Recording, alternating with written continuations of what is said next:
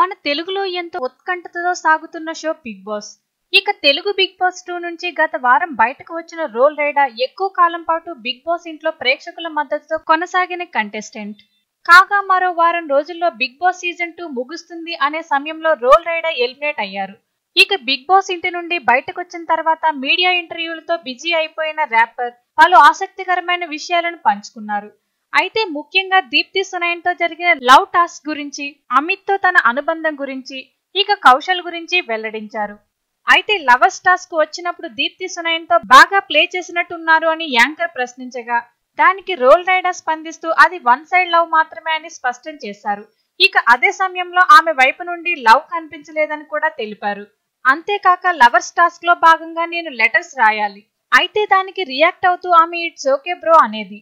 అప్పుడు నేను వెంటనే రియాక్ట్ అవుతూ బ్రో అనొద్దమ్మా బ్రదర్ ఇన్లా అనాలి అంటూ కవర్ చేశాను అని రోల్ రైడర్ నవ్వుతూ చెప్పుకొచ్చారు.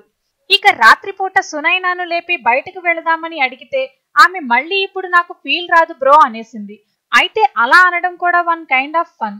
చూసే జనాలకు కూడా ఫన్ ఫ్యాక్టర్ ఉంటుంది అని రోల్ రైడా అన్నారు. ఇక ఈ టాస్క్లో నాది వన్ సైడ్ లవ్ అని కూడా అన్నారు. అయితే మీకు అమిత్కు మంచి బాండింగ్ ఉంది. ఒకరినొకరు బాగా అర్థం చేసుకుంటారు. ఇక కామెడీ టైమింగ్ కూడా సూపర్ ఉంటుంది. మీ ఇద్దరి మధ్య కూడా కౌశల్ చిచ్చు పెట్టడానికి ప్రయత్నించాడు కదా అని యాంకర్ ప్రశ్నించగా ఆ విషయంలో నాకు కూడా కోపం వచ్చిందని రోల్ రైడర్ తెలిపారు.